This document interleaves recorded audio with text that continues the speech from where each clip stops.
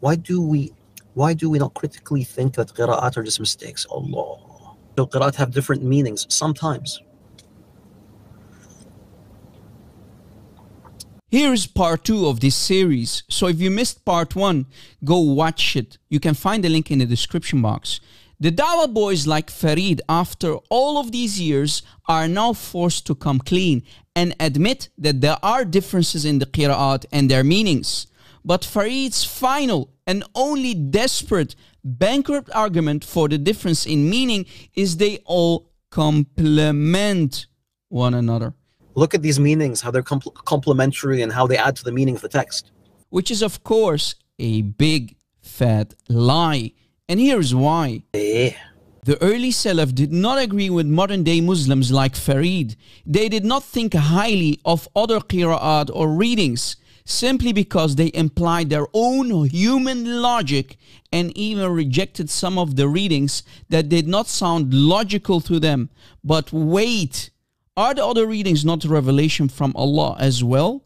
Oh boy. Yet the early Muslims rejected them anyway. Maybe our friend Farid here can do takfir on the early Muslims if he claims to have a spine in his body.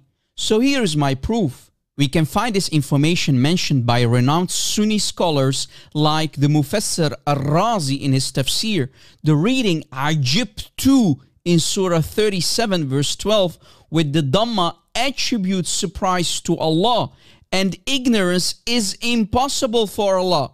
And that's why some of the early Muslims rejected this reading, Ajibtu against Ajib Ta with a fatha.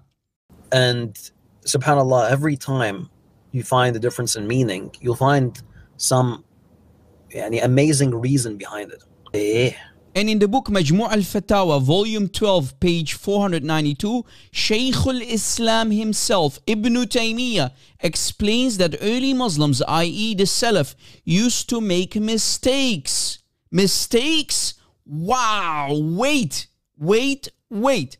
Ibn Taymiyyah, who came seven centuries later, claims that the 7th century and 8th century Salaf who learned the recitation directly from the Prophet and the Tabi'een made mistakes? Just wow.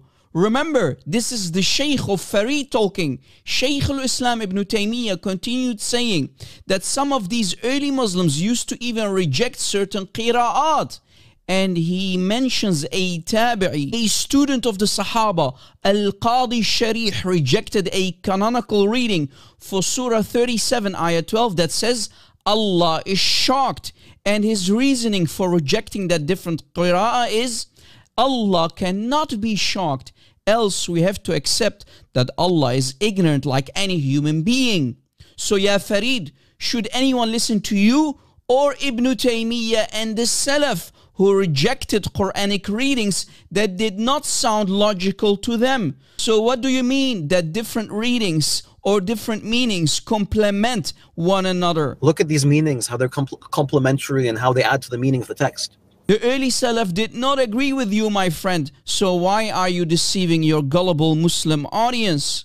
Have some decorum. You'll find some amazing reason behind it. Eh. Get some hikmah. You are lacking wisdom, ya Farid.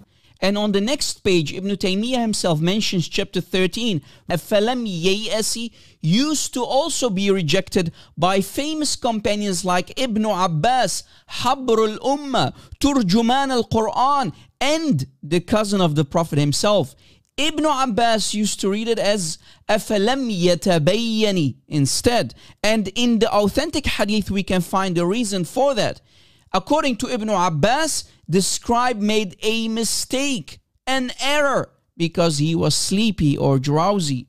Yet we find that mistake now in the most popular reading, the 1924 Cairo edition, i.e., the Hafs Quran.